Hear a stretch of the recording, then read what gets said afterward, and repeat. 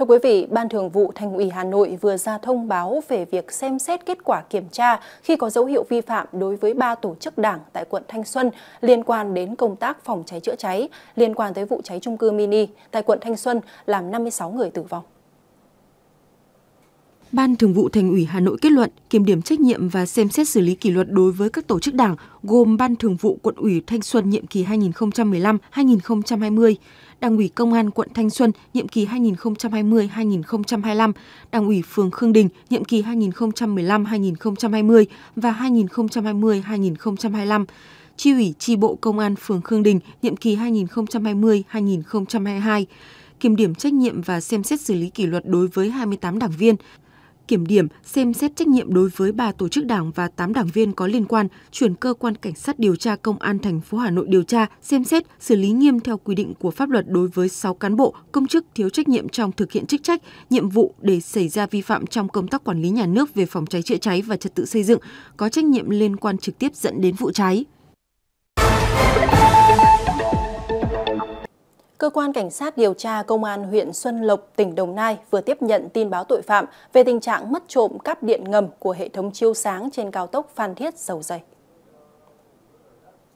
Theo đó, trong thời gian chờ ngành điện cho đấu nối đóng điện hệ thống chiếu sáng, nút giao quốc lộ 1A thuộc địa phận xã Xuân Tâm, huyện Xuân Lộc, tỉnh Đồng Nai và nút giao DT765 thuộc địa phận xã Xuân Hiệp, huyện Xuân Lộc, tỉnh Đồng Nai đã xảy ra tình trạng mất trộm cắp điện ngầm của hệ thống chiếu sáng. Tổng giá trị tài sản bị lấy trộm tính đến tháng 12 năm 2023 là hơn 3,6 tỷ đồng. Ban quản lý dự án Thăng Long, đại diện chủ đầu tư cao tốc Phan Thiết Dầu Dây đã gửi văn bản trình báo Công an tỉnh Đồng Nai việc mất cấp dây cáp điện của hệ thống chiếu sáng nút giao, mất cửa hàng rào và đường dây điện phục vụ chiếu sáng trên cao tốc này đoạn qua địa bàn tỉnh Đồng Nai.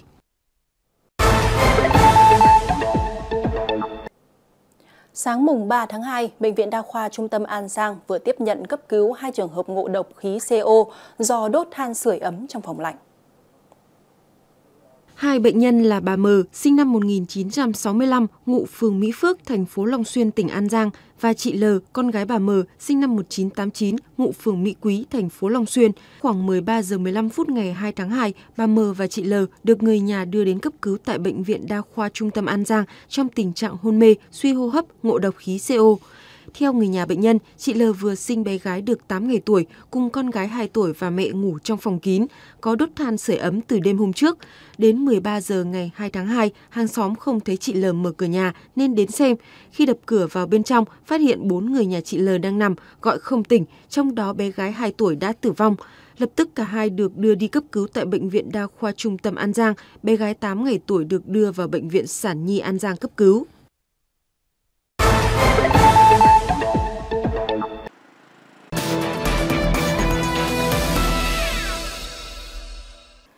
Vị, chỉ còn một tuần nữa là đến Tết Nguyên đán Giáp Thìn 2024. Thị trường đào quất mặc dù rất đa dạng về kiểu dáng, chủng loại, nhưng tại các địa điểm kinh doanh hoa Tết cũng như là các tài vườn quất, đào truyền thống, đến thời điểm này người mua không đông như mọi khi.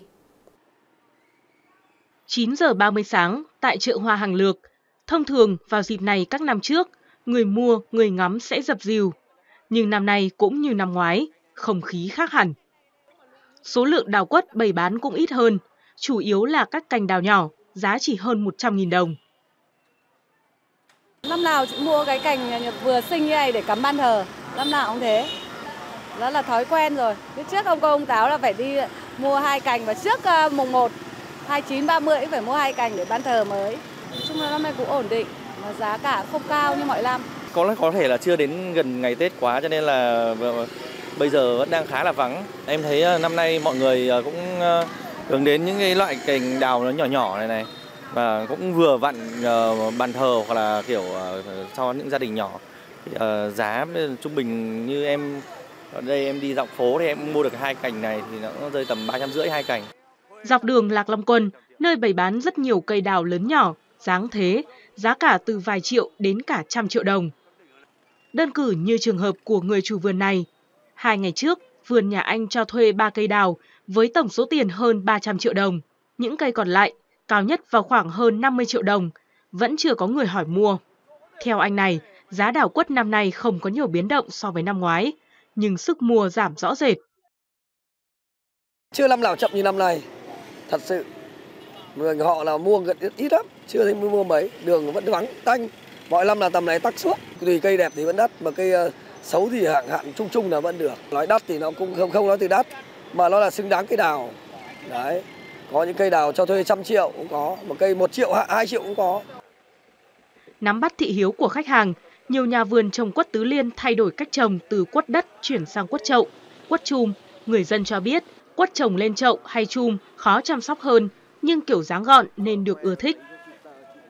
Bây giờ xu thế là dùng thứ nhất là nhỏ, gọn và phải xinh xắn. Giả dụ như cái bình này để bàn uống nước chẳng hạn, hoặc là để lên ban thờ, để ở dưới ban thờ bày để cái ghế, hai cái ghế hai bên thì nó rất là nhẹ nhàng chứ không dùng như các cái dòng ờ, quất thông và quất tháp như ngày xưa. Chỉ còn ít ngày nữa là đến Tết Nguyên đán Giáp Thìn 2024. Nhiều hộ kinh doanh hoa, cây cảnh ở Hà Nội khá lo lắng vì sức tiêu thụ chậm Thời điểm này hàng năm, sức tiêu thụ mặt hàng này bắt đầu tăng nhanh. Theo đánh giá của các hộ kinh doanh hoa cây cảnh, thời tiết mưa rét vào những ngày giáp Tết không phải nguyên nhân chính khiến sức tiêu thụ hàng hóa chậm, mà chủ yếu do tình hình kinh tế năm qua gặp nhiều khó khăn, khiến cả doanh nghiệp và người dân đều chọn cách chi tiêu tiết kiệm, không mạnh tay mua sắm hoa, cây cảnh trưng Tết. Hôm nay, hãng thông tấn Trung ương của Triều Tiên KCNA xác nhận nước này đã phóng thử tên lửa hành trình và một tên lửa phòng không loại mới trong ngày 2 tháng 2. Hãng thông tấn Trung ương của Triều Tiên dẫn thông báo của cơ quan tên lửa Triều Tiên nêu rõ các vụ thử được tiến hành nhằm thử nghiệm việc phát triển nhanh các công nghệ trong nhiều khía cạnh khác nhau như chức năng, khả năng và hoạt động của các hệ thống vũ khí mới. Thông báo không cho biết Triều Tiên đã phóng thử bao nhiêu tên lửa và các tên lửa bay được bao xa, Trước đó, quân đội Hàn Quốc thông báo Triều Tiên đã phóng nhiều tên lửa hành trình hướng ra ngoài khơi bờ biển phía tây của bán đảo Triều Tiên vào khoảng 11 giờ sáng ngày 2 tháng 2. Đây là vụ phóng tên lửa hành trình thứ tư của Bình Nhưỡng trong năm nay. Trung tâm vệ tinh của Liên Hợp Quốc hôm qua công bố các bức ảnh chụp từ vệ tinh cho thấy khoảng 30% nhà cửa ở giải Gaza đã bị phá hủy hoặc hư hỏng trong chiến dịch tấn công của Israel vào vùng lãnh thổ đông đúc của người Palestine.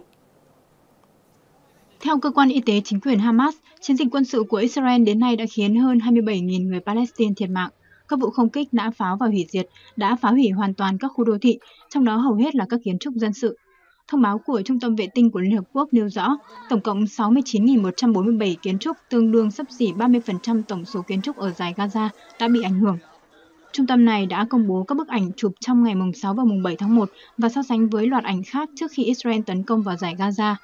Theo đó, khu vực thành phố Gaza và Khan Yunis là những nơi chịu thiệt hại nặng nề nhất so với những phân tích trước đó.